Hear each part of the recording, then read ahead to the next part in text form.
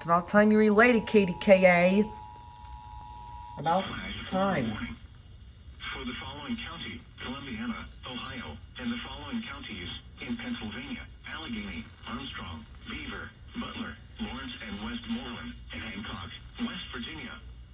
The National Weather Service in Pittsburgh has issued a flash flood warning for southeastern Columbiana County and east central Ohio, Beaver County in western Pennsylvania, southeastern Lawrence County in western Pennsylvania, southern Butler County in west central Pennsylvania, northern Allegheny County in southwestern Pennsylvania, northwestern Westmoreland County in southwestern Pennsylvania, southwestern Armstrong County in west central Pennsylvania, northern Hancock County in northern West Virginia, until 7.15 p.m.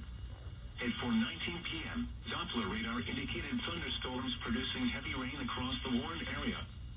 Flash ongoing or expected to begin shortly.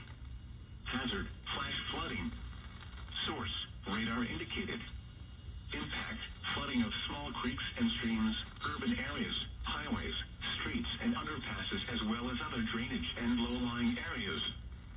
Some locations that will experience flooding include Pittsburgh, Penn Hills, Ross Township, McCandless Township, Monroeville, Cranberry, Boone Township, Butler, Franklin Park, East Liverpool, Aliquippa, and Beaver Falls. Turn around. Don't drown when encountering flooded roads. Most of flood deaths occur in vehicles. Please report flooding by calling 412 I got a lot of videos to upload after this. Oh, boy. posting to the National Weather Service Pittsburgh Facebook page,